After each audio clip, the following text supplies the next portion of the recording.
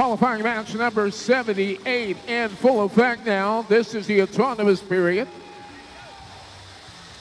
All of these robots we've seen out here so well programmed. Coding is right on point. At the end of the autonomous period, 34 to 24, Blue Alliance with the advantage. Both teams able to able to secure and score the quintet as we move into the teleoperated period. Less than two minutes to go in the match. Shooting from the near side of the field, that's going to be Team 2056. OP Robotics delivering cargo for their alliance. On the red side of the field, we have 2539 delivering cargo for the Red Alliance. Red Alliance working to close the gap. Blue Alliance still trying to extend their lead. Here comes Red. 25-39, Krypton Cougars in and out of the Blue Alliance hangar, grabbing more cargo, placing one of their two shots directly on point in the target in the upper hub. Two more, adding to the overall point value. That'll put the Red Alliance out in front, now 70 to 54. Blue Alliance regrouping now trying to take on those blue robots that are deep inside their territory. 503 delivering some cargo. 510 now on the move. Tiger Dynasty. Dynasty trying to create a dynasty right here at this event. Blue Alliance with more cargo. OP Robotics delivering the mail. 1023 on the move. Bedford Express. Thomas is the name of the robot, gathering up more cargo. In position to deliver and does so. 83 to 80. 10 seconds left in the match. Still too close to call. It's going to come down to the end game. Red Alliance has two traversal rung climbers. Blue Alliance is trying to do the same. Closing seconds. That's it. This one is over. So the Red Alliance had two robots in the hangar that have secured a place on the traversal rung. Blue Alliance had one in position, another one reaching. Just a half second too slow. Ran out of time and couldn't connect.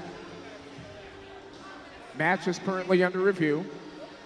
Blue Alliance was trailing going into the end game.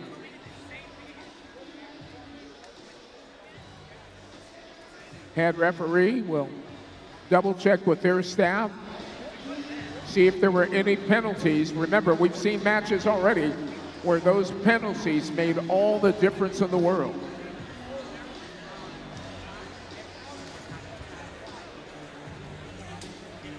Once again, the referees are currently conversing on the far side of the field. The match is currently under review. We'll take a short pause Back in a moment with your official results.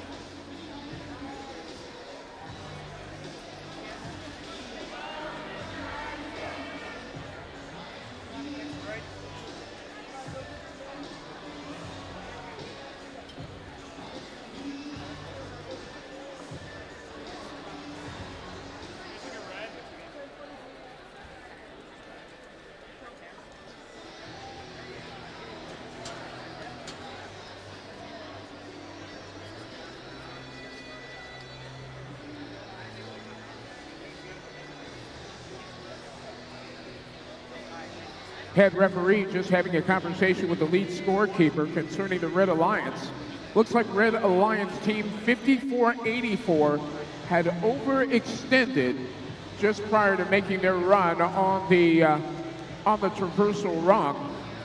Because of that, their traversal rung climb will not count and that may change the complexion altogether. Waiting on our lead scorekeeper to tabulate the results with this new information. We'll put the data on the screen, and here it is. Blue Alliance will come out on top. Blue Alliance will win this one by just one point. Once again, the Wolfpack was inside their hangar but had overextended prior to making their climb. That disqualified their traversal rung climb, and that gave the Blue Alliance the win by one point. Coming up next, qualifying match number 79.